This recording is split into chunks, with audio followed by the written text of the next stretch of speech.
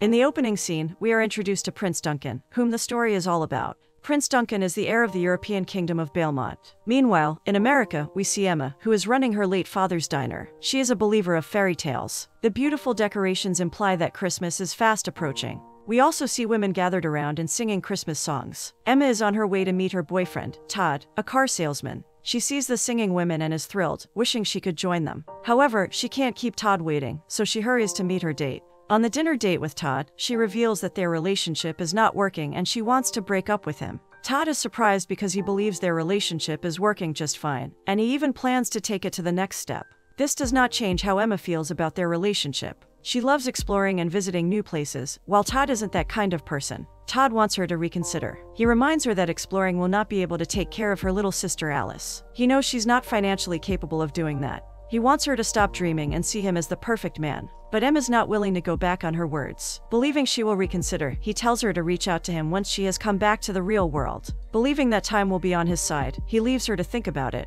For a brief moment, it seems like Emma is going to have a change of heart. Unfortunately, she cannot do that since Todd is already leaving, angrily. In the next scene, we see two men practicing their sword skills. One of the men happens to be Prince Duncan and another man is his trusted confidant, trainer, and friend named Jeffrey. As they practice, Jeffrey notices the prince is disturbed because of the way he fights angrily. The prince reveals he's not happy because, in a few days, he will be getting married to a stranger. Jeffrey is surprised, stating that arranged marriage is old-fashioned. The prince reveals he is not in love with the lady in question, even though she's beautiful and sweet. Jeffrey tries to encourage him and suggests he follow his heart and ignore tradition. The prince agrees and plans to do as he suggests. Back to Emma, after her date, she meets Alice, who wants to know how her date went. Emma describes how Todd reacted to their breakup. Alice is surprised and believes he overreacted. However, she supports her sister's decision to break up and hopes she will meet a better person. Back to the prince. We see him eating with his parents, the king and queen of the European kingdom of Belmont. The queen can't wait for her son to be married. She goes through the newspaper article about his wedding and shares her idea on how to go about it. She notices the prince is not contributing, making her think he's unhappy. She wants to know why he is not thrilled with the talk of his marriage. Prince Duncan sees this as a perfect opportunity to reveal his intentions. He wants the wedding to be called off. His parents are taken aback. His mother does not approve his request because the wedding is expected to be the most spectacular Christmas wedding the country will ever experience. However, the prince wants them to reconsider because he's not in love with his bride-to-be. He adds that he believes his parents are married because they love each other. His parents admit to it and remember their good memories together as unmarried couples. The prince wishes to be in love too, but his mother declines, insisting the wedding will not be called off. To her, there's a lot more at stake than his feelings. So, she leaves angrily. Meanwhile, the king understands how he feels. So, he asks if his change of mind is because he is in love with another woman. The prince confesses that there's no woman yet, even though he has come in contact with different women. There have not been any romantic feelings for any of them. The king encourages him to keep searching because he believes he will find his heart's desires eventually. He appreciates his dad being understanding and goes to his room with his newspaper containing the article on his wedding. While in his room, the prince thinks of how to go about his quest for true love. While doing that, he sees an advertisement about Christmas in Aurora Town, which is in another country. He thinks the universe is speaking to him. He is presented with the perfect opportunity to get away from the arranged marriage the queen is insisting on. Later that night, the prince sneaks out of the house. Unbeknownst to him, Jeffrey sees him as he leaves the house. He believes he's making the right decision, so he allows him to go without raising an alarm. The prince successfully sneaks out of the palace and heads to the location on the ad. In the next scene, Emma and Alice are having breakfast. Alice has been saving up money and she suggests they get a Christmas tree, but Emma doesn't want to, because the celebration reminds her of their late parents. Alice encourages her to overcome her fears. She points out her parents lost their lives in a car accident, not because of Christmas. Emma is surprised at how her sister has grown to be mature. Back at the palace the next day, the king and queen are having breakfast. Jeffrey joins them to give them newspaper articles for the day. The king orders him to separate the sports section of the newspaper for Duncan, who loves sports. They wonder why the prince is 15 minutes late and has yet to join them. Jeffrey reveals he did not see him in his room that morning. And due to the absence of his suitcase, he reports the prince may have traveled to a place he's not aware of. His mother is livid because the wedding is in one week. Fortunately, the king calms her down. He reminds her that Duncan is an adult and needs time to sort things out. However, he wants Jeffrey to find out about his whereabouts and keep in touch with him. Meanwhile, Prince Duncan arrives at his destination safely. However, he is finding it difficult to navigate his way around, even though he's making use of the Google map. He thinks of a better way, which is to bring out his own map. However, he gets distracted while checking it, and almost gets into an accident by a roadblock. His car stops working. Later, the car gets towed. Unfortunately, the damage can't be fixed because it's a rental vehicle. The mechanic suggests Duncan use the train to get to his destination. While the mechanic goes to get his bill, the prince sees Emma and Alice from afar. He finds her very attractive, and so does Emma after seeing him. There seems to be an immediate connection. Alice approaches him to sell a Christmas bouquet. He does not want to buy it at first because he has no one to give it to. While the two are talking, Emma leaves for the diner. However, Alice persuades him to buy. Since he insists that there's no one to give it to, Alice, who has seen him staring at her sister, slyly suggests he buy it for Emma. He then orders two to be delivered on Christmas Eve. For documentation, the prince introduces himself as David. He decides to hide his true identity because he does not want special treatment. The mechanic later joins them and reveals the next train will be available the next day. The prince decides to spend the night in Aurora. Alice, seeing he is a stranger, assists him by suggesting the nearest diner to him. The diner she describes for him happens to be where Emma is. Meanwhile, the mechanic feels like Alice is trying to match two grown-up adults. He is worried because he is aware of Emma's relationship with Todd, but Alice assures him that they're no longer together. At the diner, Emma attends to their customers. Surprisingly, Todd shows up. One of her workers tries to get rid of him, but she insists she will do it herself. She approaches him, and he's delighted to see her. He wants her to reconsider their relationship, but she declines and wants him to leave. Todd strongly believes she will regret her actions because he feels he's everything she will ever want, and more. He gives her till Christmas Eve to think about it, and he leaves. After that, the prince shows up at the diner, and they bump into each other. He recognizes her and reminds her that they met earlier. She's surprised and she also remembers him.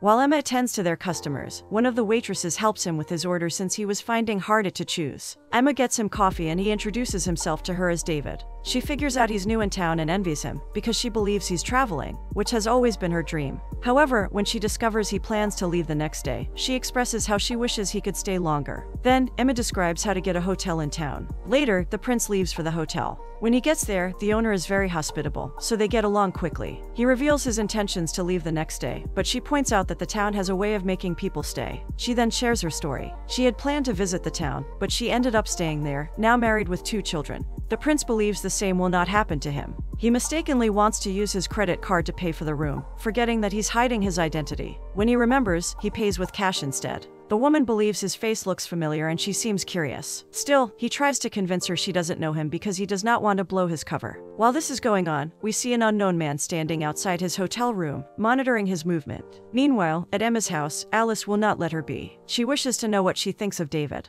Emma does not want to get her hopes up because he will be leaving the next day. She admits he's good looking and has a good accent, but she also feels like he's a stranger who might be hiding a secret. Since she is curious about him, Alice suggests she should just get to know him. Emma doesn't too, because she's scared of getting hurt. Still, her sister tries to encourage her to not give up on love. However, Emma thinks she's too young to lecture her on love issues. Still, Alice hopes she has a change of heart. After Alice leaves for her room, Emma goes through her mail and discovers she still has a lot of debt to pay. She also discovers that Alice has been given admission to a college and this somehow bothers her. In the next scene, the prince checks out of the hotel and the owner reveals that she's aware of his identity. He wants her to keep it a secret and even offer her some money, but she declines. She simply wants him to remember her hotel so that people can six because of him. He promises to do just that. Duncan leaves and checks his ticket. He hopes he is making the right decision by leaving the town. Meanwhile, the unknown man keeps following him. The prince visits the diner, and Alice is delighted to see him. He acknowledges she will be a good saleswoman.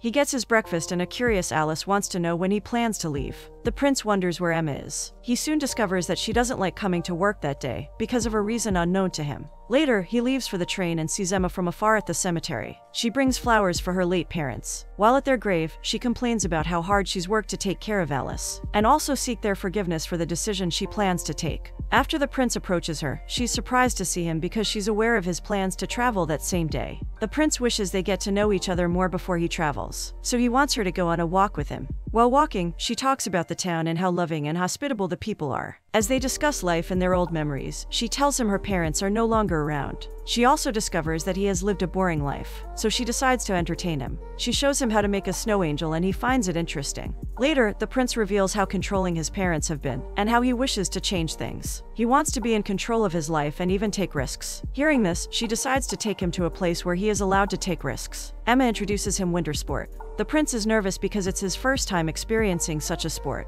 They drive through the snow, and he falls off along the way. Emma shows concern, hoping he's not hurt. Luckily for him, he isn't hurt, which makes Emma feel relieved. For the first time in his life, the prince feels normal. Duncan continues to enjoy her company. They eat cupcakes, and he admits that Christmas is being celebrated in a better way in her town. However, Emma feels there's not much time to celebrate because she has a lot of responsibility. She has aspirations of travel. However, since her parents are no longer around, she has to run her father's diner because she has no choice. After hearing this, the prince gets an urge to show her the world. All of a sudden, he hears the train leave and discovers he has missed his train. He realizes he can just get another ticket when he's ready to leave. For now, he wants to see her again the next day, and she's delighted by this. Later that day, Emma makes a difficult decision. She put the diner on sale, feeling like this will help them financially. Meanwhile, at his hotel, the prince keeps thinking about his time with Emma. He stares at their picture together, and the owner of the hotel sees him. She finds out he likes her and lets him know that Emma's parents lost their lives in a car accident during Christmas. She admits that Emma is remarkable because she took care of her sister after the incident.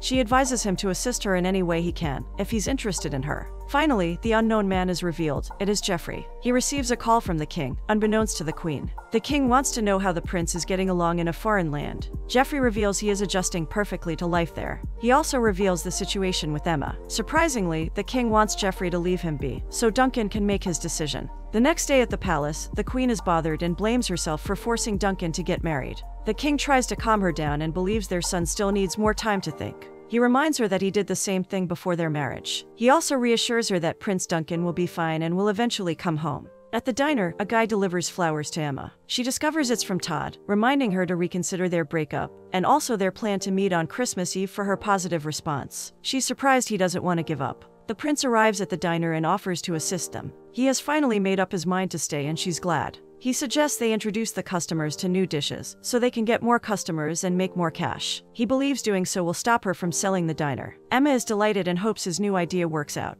In the next scene, Max, who's the diner chef, assists him in getting all the ingredients they need to prepare the new dishes. He lets Duncan know about his dream of becoming a certified chef by going to a culinary school. However, he needs to pass the entrance exams first. Furthermore, he feels like he will not be able to pass because there's nobody to back him up. Surprisingly, the prince offers to assist him. Later, the prince assists Max as promised and backs him up. Emma joins them and she's amazed at how generous he is. After helping Max, Emma wants them to play a game, so the prince leaves with her. However, while playing the pool game, Todd shows up and sees them together. He sees how happy Emma is with the prince. Todd, who is jealous, approaches them and demands that the prince stop hitting on her. Emma tries to stop him, but he refuses. Todd lies about them being engaged to be married, just to make the prince stay away from her. Emma denies being engaged to him, but Todd believes they will be engaged by Christmas Eve. The prince is fed up. He politely asks Todd to leave, but he refuses. They eventually end up fighting, but Todd gets beaten by the prince who is a skillful fighter. Hence, Todd has no choice but to leave them.